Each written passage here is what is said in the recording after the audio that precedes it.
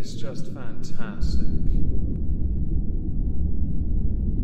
Captain's log, subdate 211227.8. With Moistmas now over, the food consumed, the drinks obliterated, and all the gifts exchanged, it's time to close the pesky holodeck program, remove the decorations, and get the Scutter Bork to clean the entire Arcadia. Haha, sucks to be it. Okay, people, it's over. We've survived, I know. Not the coof, I meant Moistmas. So we're back into full swing, and I'm going to ease you in with something sent to me by first underscore cynic on Twitter. Omegon wants another possible Karen? Now, I haven't replied to you, and I'm very sorry about that. But the answer is always Yes, I want them. Yeah. Because I've got nothing better to do, quite frankly. But also, seriously, I'm a little tired, and a little comic relief will certainly help in the non-existent R&R we are all deserving of. This Karen comes courtesy of ATL Uncensored. The annoying thing about the two-minute video is, it's got a watermark or a stamp right across the middle of it, which makes this incredibly frustrating. But we're going to go through the video so we can best understand whether or not today's entry is or is not a Karen, which if she is, based on comments on the last few Karens we've done, would mean that we would then become 8-8. Even Stevens, we are balanced, which means yes, we do need to find more that are Karens so we can squash the other pretenders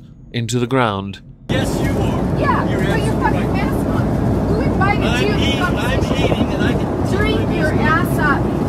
You want me Don't to you dare pour talk to me like head? that. God damn it. You I'll stand, talk you're you standing yourself way I want up. Stand your ass up. Oh no, we're in the territory of whether or not mask wearing should be compulsory on certain flights or all flights or wherever you are in the world. Have we not gotten to the stage where you should just wear them in your own home anyway? Your bubble is insufficient. You know what you should do? Live your lives in Zorbs.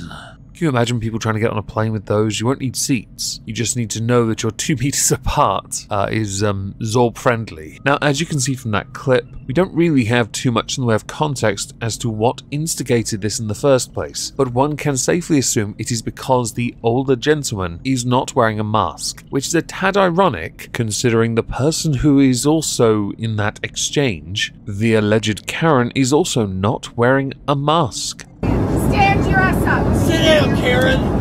Karen. You're a goddamn Karen. No, Sit down. sir. Sit down, Karen. Well, that's good enough for me. I guess this video's over early. Fantastic! I'm, of course, joking. There's a minute and 20 left, and it gets really juicy. I'm going to insert something now, though. Many commenters wondered if the female in this video had perhaps had too much to drink, coupled with her holier than thou attitude, which you'll get to and you'll understand why in a moment. Maybe it was exacerbated because alcohol induced being the more obvious. Sit down, pussy. Ma'am, Pussy, no, you're the pussy. Oh, no, you're down the there. dick. ma'am, do you want the police to meet you on the ground? What about him? Mask up, ma'am.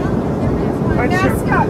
put your I'm mask up. Mask up. Tell him to I'm mask eating and up. drinking. You got your up. mask down, bitch. So the alleged Karen in question has been told that the police will meet her on the ground if she doesn't calm down. She's been given due warning. Does she want them there? She looks directly at the person in question, mask below her chin, while having a go at someone else for not wearing a mask so she can eloquently articulate how little she cares about the rules because she, being a diligent citizen, is above the rules herself. One rule for me, but not for thee, remember? Decides to ignore the fact that that has been offered to her if she doesn't calm down, and to continue berating the older gentleman because he refuses to mask up. Sounds to me like you don't have your priorities right. As you are on the flight as well, clearly you are intent on going somewhere. What is it with these reactionary types who don't seem to think about the consequences of their own actions? More notably, the negative consequences that they seem to forget because apparently a grander point needs to be made and they choose that hill, they will die on that hill or be escorted off a flight, which was their hill.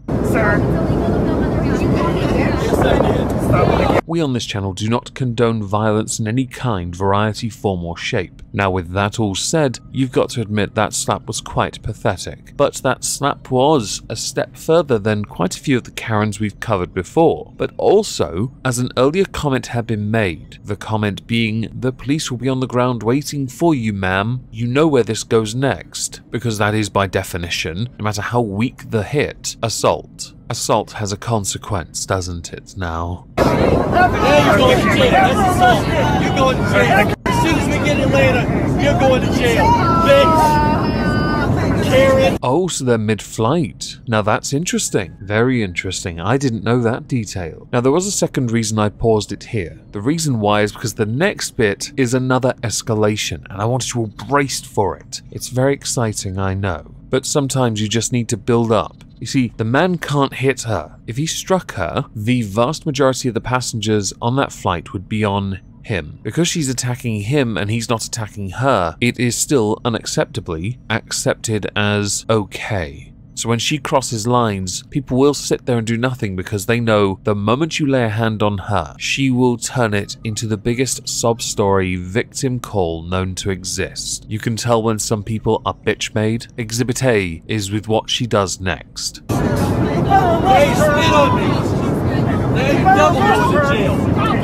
So let me get this straight. You approach a gentleman on a flight because he's not wearing a mask. The mask is designed to prevent moisture from being spread about because that moisture is how certain things are transferred, transported, spread around to other people. Don't get me started on the whole mask thing. Honestly, I could be here for days. You approach the gentleman, remove your mask to below your chin, angrily assert that he needs to put his on to protect everyone else, of course, on the flight. When you don't get your way and he calls you a Karen, people laugh. You continue to ignore requests to sit down because the police will be waiting for you at the end of the flight if you don't stop. You then smack him. When he then calls you a pussy and a Karen, you then do the one thing that would surely contradict everything you claim to be standing for by spitting in his face. Is this the part where you tell me he didn't know the way, Bruder? Because everything else tells me so far you are a massive hypocrite and you became it the moment you crossed the very line you claim to be on the other side of.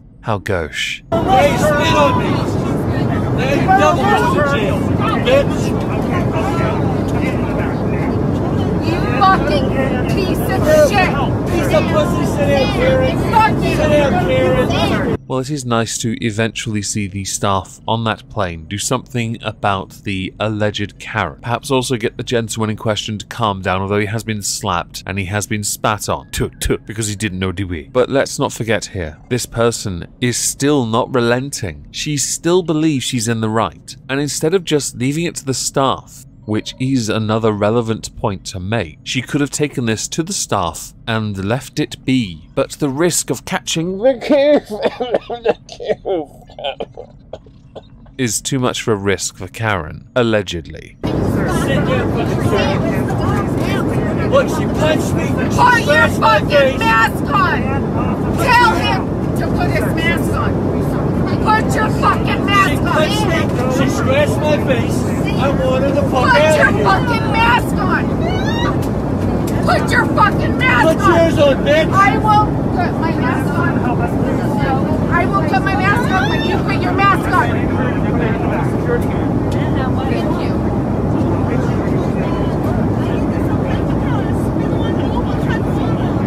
So I bet some of you are now wondering what happened to the female passenger, the alleged Karen, because there is a fate. We don't know if it's fully reached its destination, a conclusion perhaps, but there was a rather amusing ending to it. As far as the gentleman goes, I'm not entirely sure if he was made to put on a mask for the remainder of his journey or if he had taken it off while he was consuming something. In the United Kingdom, if you use public transport, you are permitted to remove your mask if you are consuming food or drink. I don't know if that's a thing in Atlanta. So, what happened to the alleged Karen? Well, He went crazy on the airplane. Punched this man in the face, spit on him, scratched him. Oh, it is more than likely that she would have gotten a warning for her behavior on that flight. It is also possible if the airline wanted to, they could in fact have her banned from using their services ever again. So I doubt she'll ever spend any time in the ISO cubes. But that's mostly because we can't be bothered to put people who don't wear masks or spitting and slapping into an ISO cube. We'd much rather send them to Titan, where they could do manual labor for a length of time determined by a D20. Each side is a year. Best of luck. So now we've reached the stage of the video where we have to decide whether or not this lady is a Karen. And like the predecessors, I now have to say I believe this is a Karen. But I do think the better way of ascertaining whether or not this is a Karen should fall on your shoulders. Yes, I'm shirking responsibility. Shocker. So please do let me know in the comments down below if you believe this is a Karen or not. If it is, within this series, it would then become 8 Karens to 8 non Karens. As a final thing, I shall be streaming on Twitch tonight some Euro Truck Simulator 2 because I'm exciting. If I don't see you there, it is linked in the pinned comment, all the sources as well. I hope you'll have a fantastic day and thank you all very much for listening.